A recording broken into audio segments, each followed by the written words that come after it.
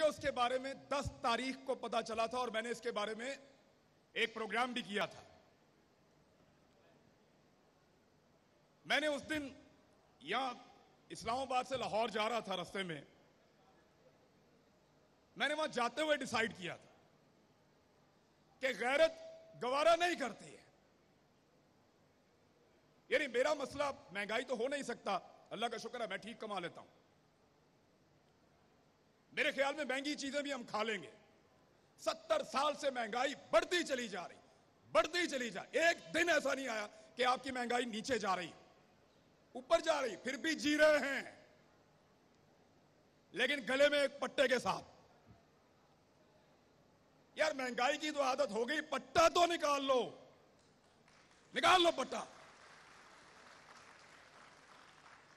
उस दिन मेरे दिमाग में यह बात आई थी कि मैं वो आखिरी आदमी होऊँगा अपने मीडिया में जो सरेंडर करेगा। मुझे लगा कि बतौर पाकिस्तानी यह नहीं हो सकता कि बाहर से एक आदमी बैठे या एक मुल्क वो फैसला करे कि मेरे मुल्क में कौन हुकूमत करेगा और कौन नहीं करेगा। नहीं हो सकता। आप फैसला करेंगे। आप फैसला करेंगे। मैं करूँगा, मेरा मुल्क है। मैं वहाँ से कोई बैठ के फैसला नहीं करेगा। तो मेरी गैरत तो गवारा नहीं करती ना। मेरा दिल नहीं मानता। खान साहब, हमारे घरों में जिनका दिल नहीं मानता ना, उनके घरों में बिजली के बिलों से ज़्यादा एफ़ आई टांगी हुई है इस वक्त।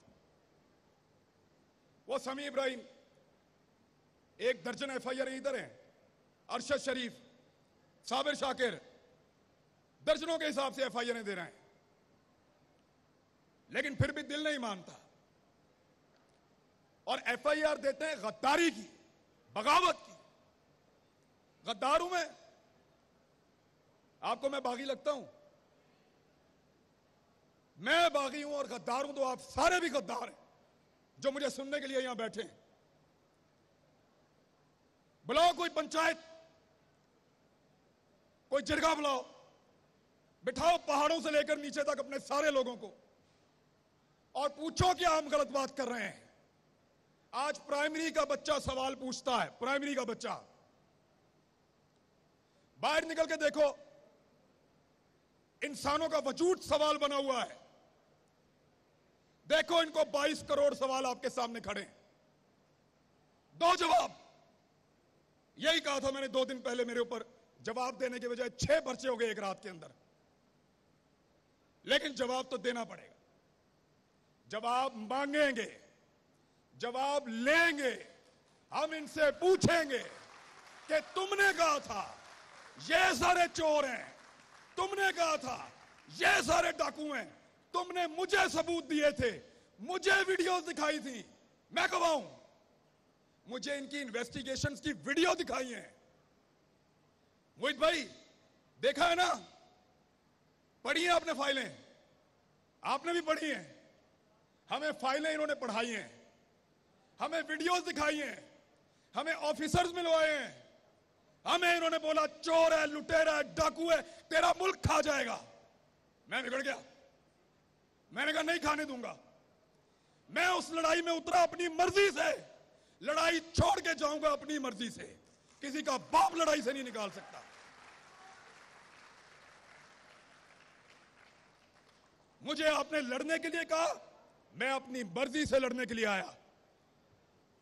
मैंने पहले अपने आप को कायल किया कि मैं लड़ूँगा इस लड़ाई को।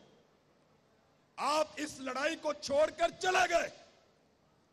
अधूरी छोड़ दी आपने लड़ाई। कल वो चोर थे, डाकू थे, आज ऐसे नहीं हो सकता।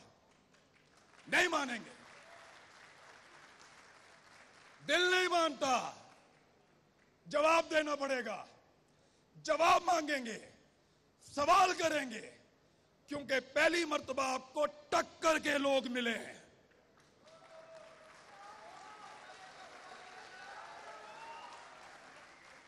आपको टक्कर के लोग मिले हैं। ये पहाड़ों से उतर के नहीं आए।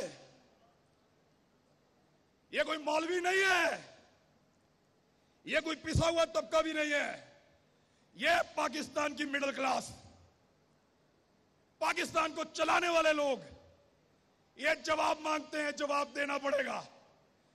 आप लड़ाई छोड़कर गए हैं, मैं क्यों छोड़ूं? मेरी लड़ाई है मैं लड़ूँगा, या हार के आऊँगा, या जीत कर आऊँगा। लड़ाई पूरी लड़ूँगा।